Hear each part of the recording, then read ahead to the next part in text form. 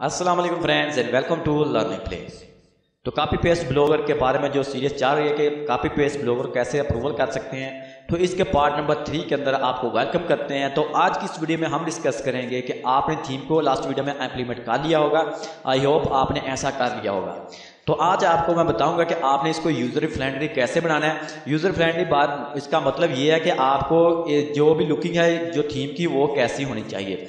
तो जस्ट यहाँ पर मैं ब्लॉगर को ओपन कर लेता हूँ ताकि आपको मैं जस्ट रैपिडली यहाँ पर लेके जाऊँ, जल्दी जल्दी से ताकि आपका जो टाइम है वो वेस्ट ना हो। तो मैं क्या करता हूँ, यहाँ पर क्रोम ब्राउज़र को ओपन कर लेता हूँ। यहाँ पर मैं ब्लॉगर डॉट कॉम यहाँ पर टाइप करता हूँ। और टाइप करने के बाद जस्ट थोड़ा सा वेट करते हैं। यहाँ पर देखिएगा, अब हम क्या करेंगे, यहाँ पर इसका व्यू ब्लॉगर का चेक कर लेते हैं कि इसका व्यू कैसा है। तो रिस्पॉन्सिव थीम के अंदर, यानी आपने जब भी एडसन्स के लिए अप्लाई करना है तो क्या क्या इसके चीज़ अंदर होनी चाहिए? रिस्पॉन्सिव थीम यानी यूज़र फ्रेंडली के अंदर क्या क्या चीज़ होना लाजमी है? तो सबसे पहले ये बात है कि आपने आपको ऐसी लुकिंग कहीं भी नज़र आ रही हो जब आप कोई भी थीम ऐड करते हैं तो आपको यहाँ पर रिस्पॉन्सिव एडवर्टाइजमेंट का कोई भी यहाँ पर ऑप्शन मिलता है।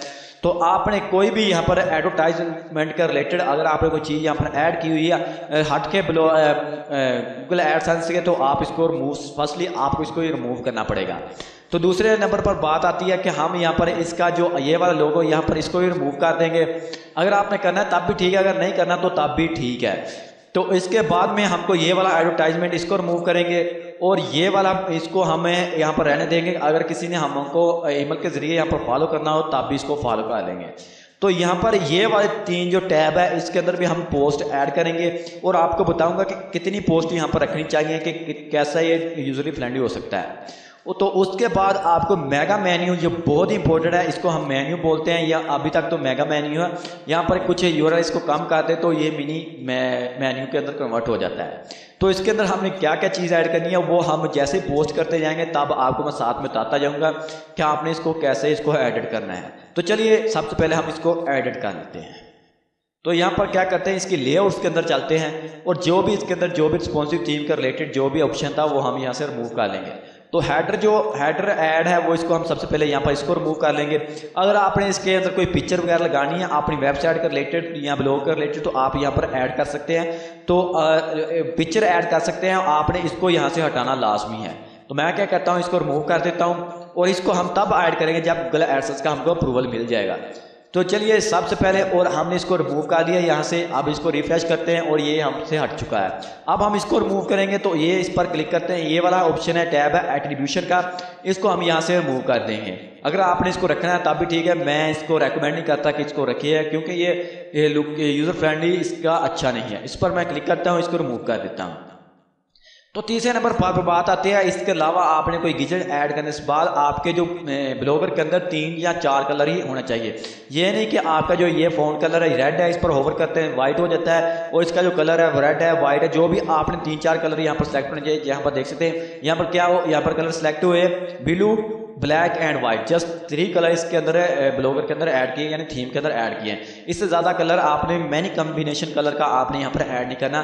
दो तीन जो कलर यूज़ होते हैं ब्लॉगर के अंदर जस्ट आपने वही ब्लॉगर को यहाँ पर चूज़ करना है, यानी इसको आपने सेलेक्ट करना है। तो मैंने इसको रिमूव कर दिया आप इसको रिफ्रेश कर लेते हैं। अब देखिएगा, वो भी यहाँ से हट चुका है। अब हमको क्या चाहिए? ये होम का टैब है, इसको भी हम रिमूव कर लेंगे। बॉक्स वर्जन, ये ऑलरेडी यहाँ पर हिडन है। अगर इसको आपने चेक करना है तो इसको हम क्या करते हैं वैसिबल करके चेक कर लेते हैं कि आया इसके अंदर क्या चीज़ है। तो हमने इसको वैसिबल कर दिया आप इसको रिफ्रेश करते हैं कि आया इसके अंदर क्या चीज़ है, वो आप चेक कर सकते हैं। बोस्ट वर्जन यहाँ पर रिसेंटली जो पोस्ट है, और बोस्ट वर्जन के अंदर जो भी, यहाँ पर दो टैब है, वो एक तरफ़ से एक पोस्ट होगी, दूसरी तरफ़ से दो। तो जस्ट हमको ये वाला भी नहीं चाहिए। तो इसको हम यहाँ से रिमूव कर देंगे। हम इसको यहाँ से रिमूव कर देते हैं। और इसके बाद जो भी, अगर आपने इसको अंदर रखना है तो आप रिमूव नहीं करना चाह रहे तो आपने जस्ट इसको हिडन कर दें ताकि वो आपके थीम के अंदर शो ना हो। तो आपने इसको अनचेक करना है। अगर आप इसको अंदर चेक कर देते हैं तो ये वैसीबल हो जाएगा और वहाँ पर शो होगा। अगर इसको अनचेक करेंगे, ये वहाँ पर शो नहीं होगा।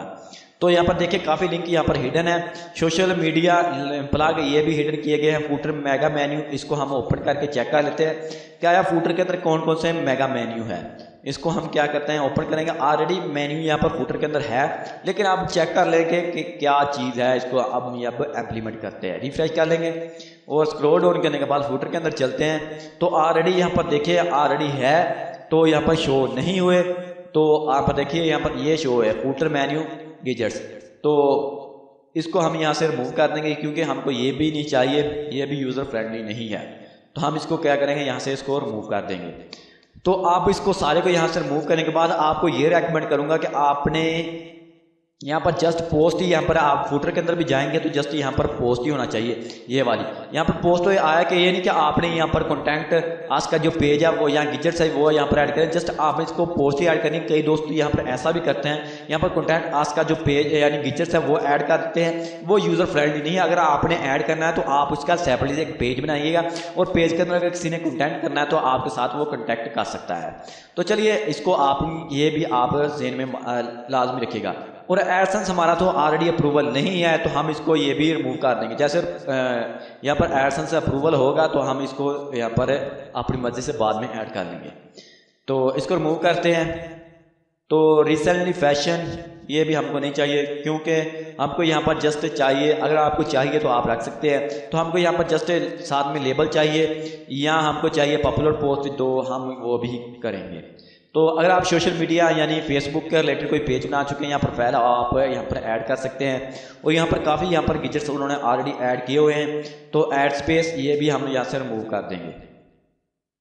आपने ऐड के रिलेटेड कोई भी यहाँ पर वर्ड ऐड नहीं करना। तो यहाँ पर देख सकते हैं, अब हमारा जो थीम है वो यूज़र फ्रेंडली इसकी मे बी इसकी लुकिंग ठीक होगी होगी। तो अब यहाँ पर ये वाला चीज़ रहेगी, इसको रिमूव करेंगे और जस्ट अब ठीक है। यहाँ पर पॉपुलर पोस्ट आएँगी। अगर आपने यूट्यूब का कोई लिंक देना है तो देख सकते हैं इसके अंदर। ये भी हम साथ साथ में यहाँ पर एडिट करते जाएँगे। इसको भी हम यहाँ से रिमूव कर लेते हैं। तो स्क्रॉल आप करते हुए मे भी ये वाला था। इसको भी हम यहाँ से रिमूव कर लेते हैं। नहीं, अभी तो वो वाला तो नहीं आया। Future post blogger search blog archive तो मैं भी ये वाला था ब्लॉगर आर्काइव होम पोस्ट की थी इसलिए वहाँ पर होम पोस्ट है, इसको हम क्या करेंगे यहाँ पर? इनवेसिबल कर देंगे, यानी हिडन कर देंगे रिफ्रेश करते हैं, अभी भी है वो. और सर्च के नीचे तो वो मुझे तो नज़र नहीं आ रहा. इसको दोबारा स्क्रॉल अप करते हैं, और ये वाला भी हम यहाँ से हटा लेते हैं. इसको भी रिमूव कर देते हैं। अब हमने इसको भी रिमूव कर दिया। तो अबाउट मी ये भी हिडन सब कुछ हिडन है। सर्च बार से पहले आ रहा है। सर्च बार के बाहर आ रहा है। तो यहाँ पर मे भी ये वाला पेजिस तो इसको हम यहाँ से रिमूव कर देंगे। हमको यहाँ पर पेजिस नहीं चाहिए। तो आप इसको रिफ्रेश करते हैं। आप देखिएगा यहाँ पर होम का टैब वो रिमूव हो चुका है। तो उम्मीद है कि आपने ऐसा थीम क्रिएट कर लिया होगा, जो भी कुछ है इसके अंदर, वो आप अपनी मर्ज़ी से एडिट कीजिएगा। तो आपने अगर सोशल मीडिया का लिंक देनी है तो आप भी दे सकते हैं। आप यहाँ पर सूरा की जो लिंक है, वो हटा सकते हैं।